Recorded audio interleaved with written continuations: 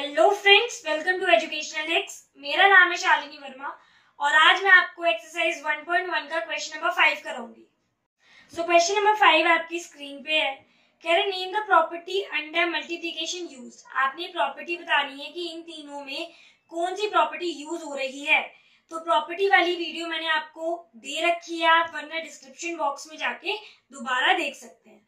तो इसमें क्या दे रखा है कि minus four by five multiply one is equal to one multiply minus four by five is equal to minus four by five तो आपको दिख रहा है कि एक रैशनल नंबर अगेन वन से मल्टीप्लाई हो रहा है।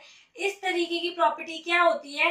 मल्टीप्लीकेटिव आइडेंटिटी राइट अब नेक्स्ट जो है हमारा वो क्या है? नेक्स्ट क्या कह रहा है? कह रहा है कि minus thirteen by seven into minus two by seven again minus two by seven multiply minus thirteen by seventeen तो बेटा यहाँ पर क्या है? यहाँ पर आपको दिख रहा है कि ये दोनों सेम है और ये दोनों सेम है। यानी कि a into B is equal to B into A इस तरीके से आपको दिख रहा होगा। और ये कौन सी प्रॉपर्टी होती है? ये होती है कॉम्यूटेटिव प्रॉपर्टी राइट तो इसके बाद जो है नेक्स्ट क्वेश्चन वो क्या है? कह रहा है minus nineteen by twenty nine into twenty nine by minus nineteen is equal to one आपने क्या करा? आपने ऊपर नीचे कैंसिल कर दिया।